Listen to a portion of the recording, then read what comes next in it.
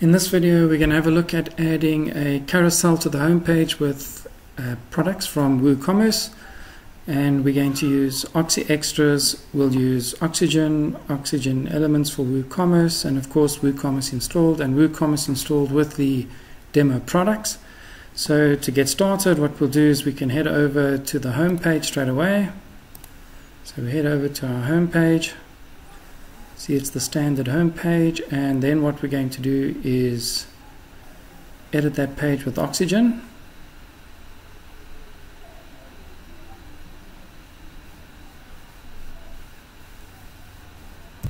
Oxygen loading. Oxygen loaded. The first thing we'll do then is pull up the structure panel and we'll add a new section and we'll move that section to the top.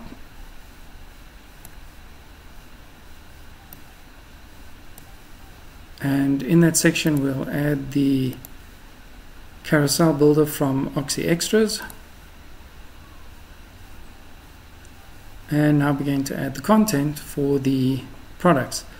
Now when you have a look at the carousel content that's available you will see that you have Woo components and Woo product gallery but that is specifically if you're on the uh, pages or in the categories within WooCommerce. As we're on the home page, what we'll do is we're going to use the repeater and we're going to use that repeater then to build our uh, products. And what we'll do then is we'll add a repeater then.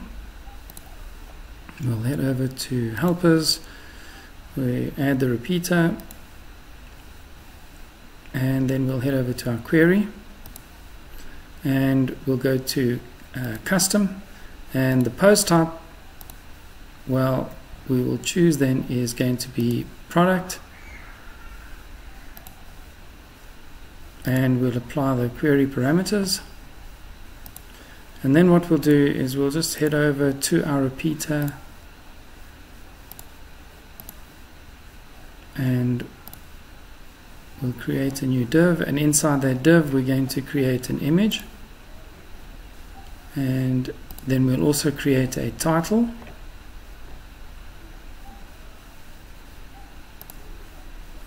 And we'll give that a heading of h2 and we'll make that the product title. So we can either do it that way or we can also add go to WooCommerce and select the product title from the WooCommerce component.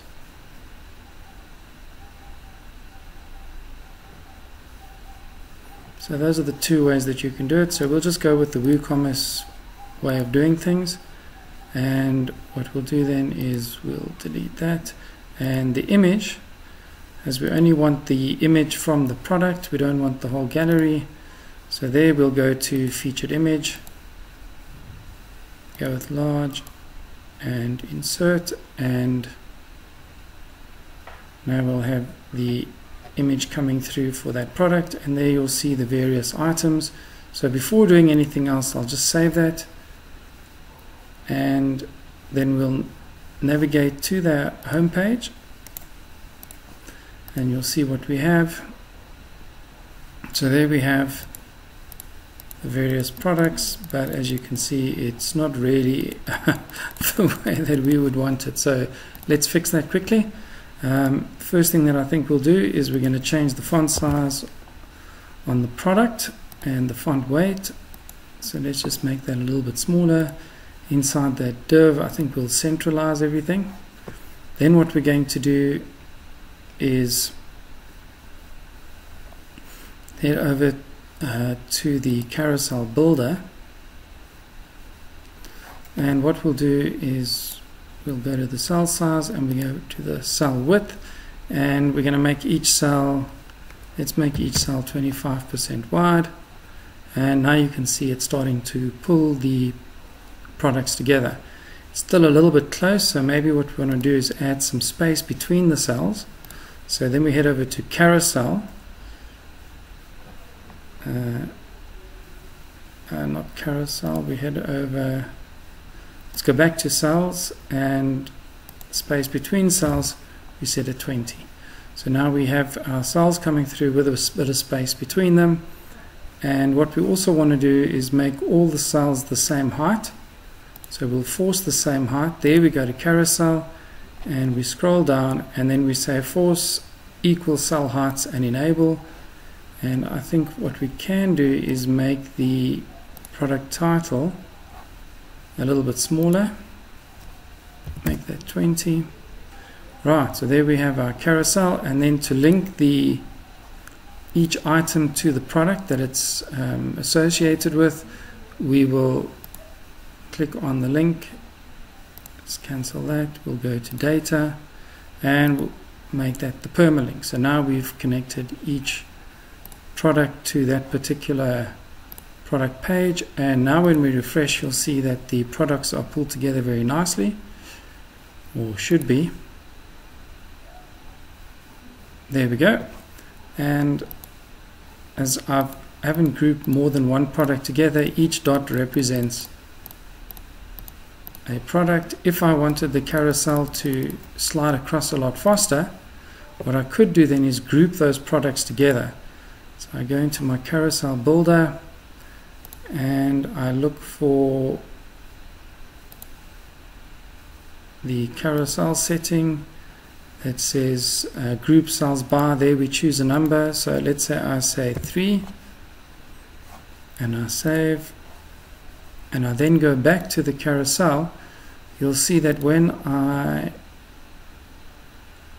advance you'll also see a lot fewer dots and now three advance at a time. So there I'm able to decide how many products I want to advance at a time or I can slide with my mouse. And of course when I click on a product I'll be taken through to that individual product. So that's great um,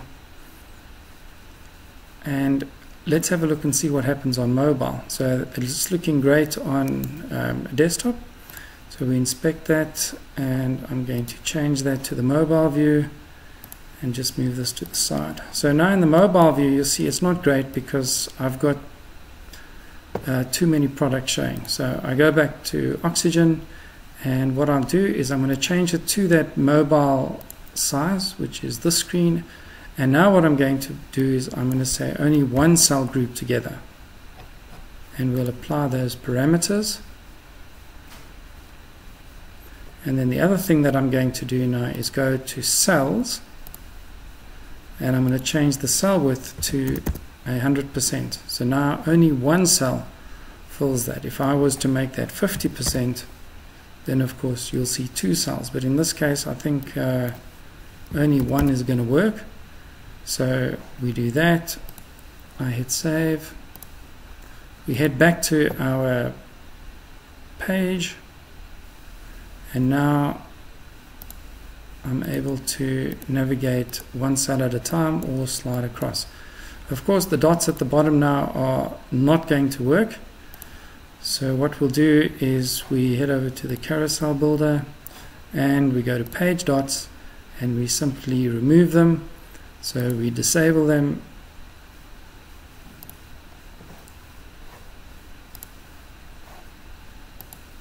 save the page and now when I have a look on the front end you'll see that the dots are gone. And I can scroll through the products. And I go back to desktop view. And I can scroll through.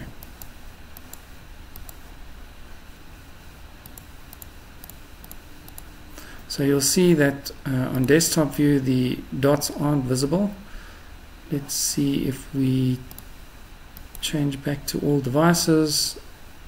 Dot styles.